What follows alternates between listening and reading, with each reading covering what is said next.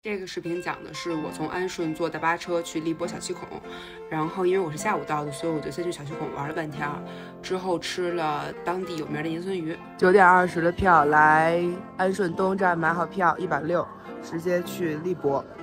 然后我要去上车了，先去安检吧，找着今天的车了。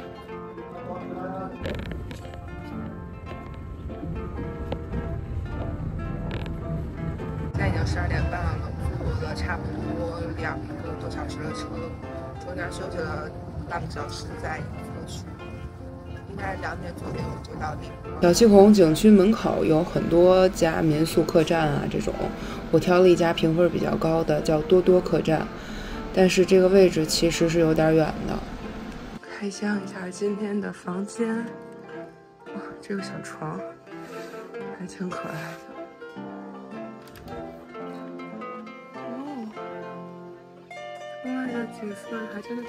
放好行李就直接去景区了，走路十分钟就到。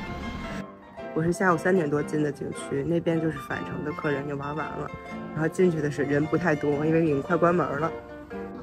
在小七孔来杯雪忘，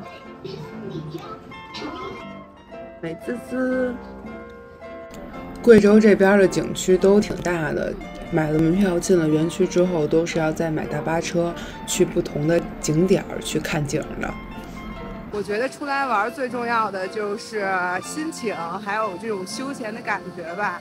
我是三点多的时候进来景区的，然后其实相对来说比较错峰，我可能今天只能玩小七孔，就是一个景点了。但这个票是两天都有效的，所以剩下的我明天再来玩。现在的话，大部队都已经往外走了，所以我是一个逆流而上的状态，所以就没什么人，一路上非常的清闲，然后景色也很好，然后也很凉快。你看，但现在就要走到这个瀑布这个地方了，去看瀑布了。然后就是水真的好蓝好蓝好蓝好蓝啊，就是那种九寨沟的感觉，虽然我没去过。哇，也太美了吧！啊，这个桥走起来。很有感觉耶！我要去桥那边往前走了。哇，好美哦！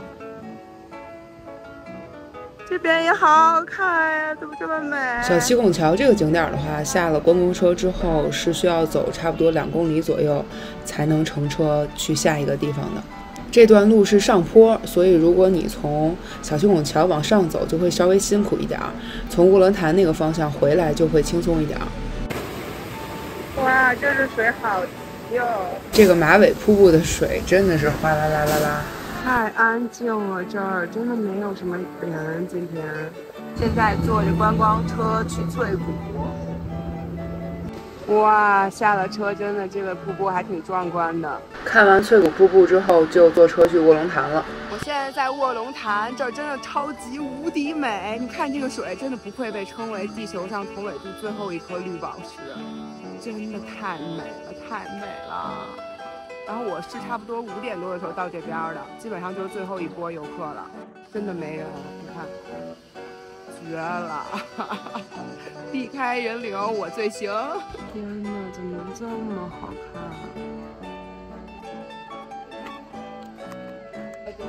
哦，这好看啊！可以，可以，可以再凹一点啊！这个就是卧龙潭的瀑布。真的好好看呀，就是很清秀的感觉。然后它这边会控制水流，所以它其实无所谓风水期还是枯水期，都差不多是这样的，都很好看呀，真的很棒棒。结束啦，坐大巴车回东门了。我应该是最后一波人。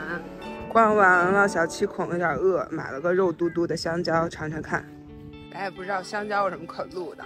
给尝一看，不要了，直接管着啊，不用，谢谢。嗯，好甜啊。去打卡一下喜味家的盐酸鱼，点了个一百零八的双人餐，这个是盐酸鲤鱼，尝一尝他们这边的特色。首先就是这个鱼的刺儿，真的太多了，太多了，太多啦！下次我一定要换一条鱼吃。口味的话，盐酸鱼我会以为它是那种咸咸酸酸辣辣的鱼，特别重口。其实我吃起来是鱼香肉丝味的，你们懂吧？就是甜甜的，然后有点辣。反正还挺值得一试的，毕竟真的吃到鱼香肉丝味的鱼香了。吃饱喝足之后就回去休息了，明天还要继续深度游小七孔呢。这边天黑的比较晚，回去之后正好还看了一点夕阳，美滋滋。